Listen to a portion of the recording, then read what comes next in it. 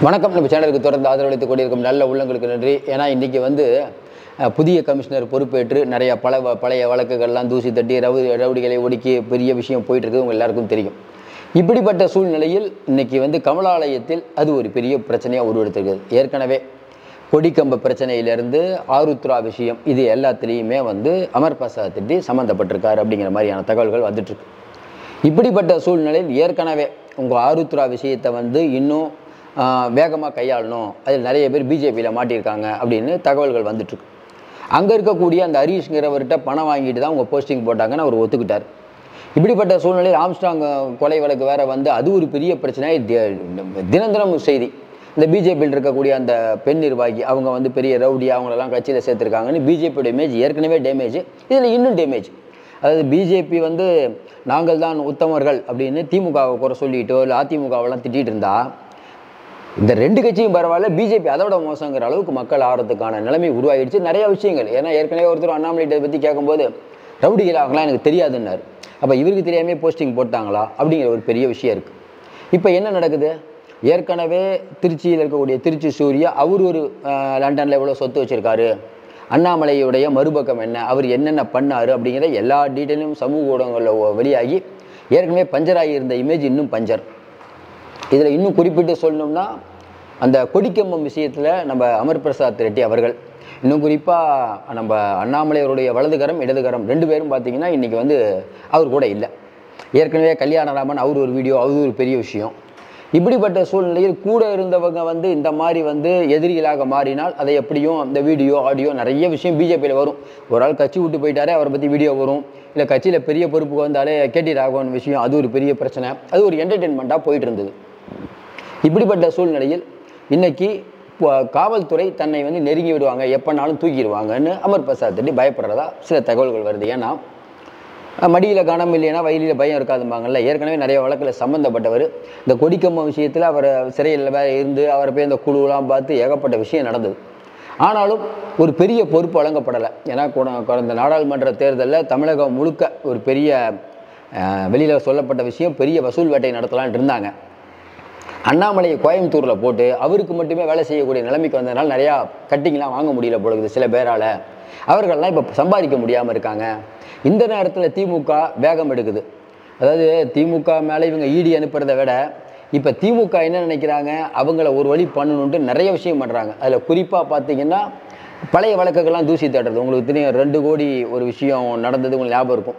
இந்த ரெண்டு கோடி ரூபா பிடிப்பட்ட நாலு கோடி பிடிப்பட்ட விஷயத்தில் அங்கே இருக்கக்கூடிய பிஜேபியில் பிரமுகரை கூப்பிட்டு விசாரித்து அது ஒரு பெரிய பிரச்சனையாக ஓடிட்டு இருக்குது. இன்னொருத்தருக்கு கேசவ விநாயகத்துக்கு ஏற்கனவே சம்மன் அனுப்பி அவரை வேற கூப்பிட்ருக்கோம் இப்படி எல்லா இடத்துலையும் நெருக்கடி நயினார் நாகேந்தனுக்கு ஒரு பிரச்சனை. இப்படி எல்லா இடத்துலையும் பிரச்சனை நடக்க போய் கரெக்டாக உள்ள வைக்கக்கூடிய கேஸ் இது. ஏற்கனவே கொடிக்கம்ம விஷயம் இல்லாமல் ஒரு பெண் நிர்வாகி அதுவும் பிஜேபியில் இருக்க பெண் பெண் நிர்வாகியை வீடு புகுந்து தாக்குனாருன்னு ஒரு கேஸ் ஏற்கனவே அமர் பிரசாத் ரெட்டி மேலே இருக்குது அந்த பெண்ணே புகார் கொடுத்துட்டாங்க. அப்போ அந்த வழக்கில் அமைதியாக இருந்தது கொஞ்சம் தலைமறைவாக இருந்தார். அப்படிப்பட்ட சூழ்நிலையில் இப்போ ஏகப்பட்ட வழக்குகள் இருக்குது. இன்னொன்று ஆருத்ரா. ஆருத்ரா ஏன் இப்போ முக்கியம்னா முதல்ல யாரும் நீங்கள் பழி வாங்கும் நடவடிக்கைலாம் பிஜேபி சொல்லலாம். இப்போ ஆருத்ரா கொலை வழக்குக்கும் இந்த இப்போ ஆருத்ரா மோசடி வழக்குக்கும் ஆம்ஸ்டாங் கொலை வழக்குக்கும் சம்மந்தம் இருக்குது அதில் விசாரிக்கணும்னு பெரும்பாலான மக்களே இப்போ கமெண்ட் போட ஆரம்பிச்சிட்டாங்க. அப்போ இது காவல்துறைக்கு ரொம்ப இன்னும் ஈஸி ஏன் என்ன என்ன காவல்துறை சிறப்பாக செயல்படுறது தான் எல்லோரும் சொல்கிறாங்க நல்லா தான் பண்ணிகிட்ருக்காங்க நிறைய பேர் அரெஸ்ட் பண்ணுறாங்க இது எப்படி முடிக்கணும் அப்படிங்கிறது ரொம்ப தீவிரமாக இருக்காங்க நமக்கு நல்லா தெரியுது. அப்போ அமர் பிரசாத் ரெட்டியை அப்படியே தூக்கி உள்ளே வைக்க போகிறாங்க அப்படின்னு க கமலாலயத்தில் ஒரு பக்கம் பட்டாசு. ஏன்னா அவங்க என்னென்னா அமர் பிரசாத் ரெட்டியும் சில பேரும் அண்ணாமலைக்கு வேண்டிப்பட்டவருங்கிறனால ரொம்ப அட்டூழியம் தாங்க முடியல. விஜயதாரணி அவர்கள் ஒரு இதுக்கு நம்ம ப- கமலாலயம் வரும்போது உள்ளே உட்கார வைக்க கூட ஆள் இல்லை. இன்னும் குறிப்பாக சொன்னால் நிறையா சீனியர் வரதே இல்லை. ஏன்னா பொன் ராதாகிருஷ்ணன் பரவாயில்ல அவர் கவர்னர் ஆகி போனாலும் போயிடுவார் ஏன்னா வானதி சீனிவாசன் என்னென்ன பார் கட்சியில் எவ்வளோ நாளாக உழைக்கிறோம். அண்ணாமலைக்கு வேண்டிப்பட்டவங்களும் அமர் பிரசாத் ரெட்டி இந்த அளவுக்கு டே- ஆதிக்கம் செலுத்துறாரு அவர் ஒரு பக்கம் இன்னும் கணக்கு போடுறாரு. ஏகப்பட்ட விஷயங்கள். இன்னும் நம்ம குறிப்பாக சொல்லணும்னா இந்த ஒரு விஷயம். அதாவது என்னென்னா அமர் பிரசாத் ரெட்டியை பொறுத்த வரைக்கும் அவரை வளைக்க தயாராகிட்டேன் அவருக்கும் தெரியாமல் இருக்கும்ல. தெரியாமலாம் இருக்காது இல்லை அப்படிப்பட்ட சூழ்நிலையில் அண்ணாமலைகிட்ட போய் கேட்குறாரு அண்ணாமலையெல்லாம் கவலைப்படாதீங்க. எப்படி இப்போ கட்சியில் வந்து நிறையா பொறுப்பு கொடுக்க போகிறோம் உங்களுக்கு ஒரு பெரிய பொறுப்பு கொடுக்க போகிறதா சொன்னார். அண்ணாமலை கமலாளிதர் சொல்கிறாங்க முதல்ல இவர் பொறுப்பிக்கே ஆபத்து வரும் பொழுது அண்ணாமலைக்கு. அண்ணாமலை பொறுப்பிக்கே ஆபத்து வரும் அதனால தான் அவர் வந்து ஃபாரின் போகிறன்ட்டு கிளம்பிடுறாரு. இந்த நேரத்தில் இவர் எப்படி இன்னொருத்தருக்கு பதவி வாங்கி கொடுப்பாரு அப்படின்ட்டு அது ஒரு பிரச்சனை.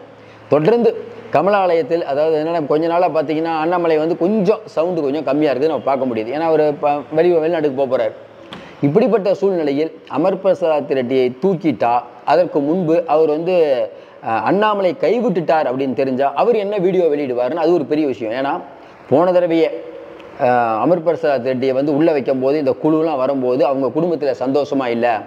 எவ்வளோ நாள் அண்ணாமலைக்காக பாடுபட்டோம் ஆனால் அண்ணாமலை கை விட்டுட்டாரு அப்படிங்கிற மாதிரி பெரிய ஒரு ஒரு பெரிய ஒரு பிரச்சனையில் இருக்காருன்னு நம்ம ஏற்கனவே சொல்லியிருந்தோம். அந்த உள்ளவரை வச்சாருங்கல்ல கொஞ்ச நாளைக்கு முன்னாடி. அதுக்கப்புறம் பார்த்தீங்கன்னா அமர் பிரசாத் ரெட்டி பெருசாக எதுவும் ஆக்டிவாக இல்லை.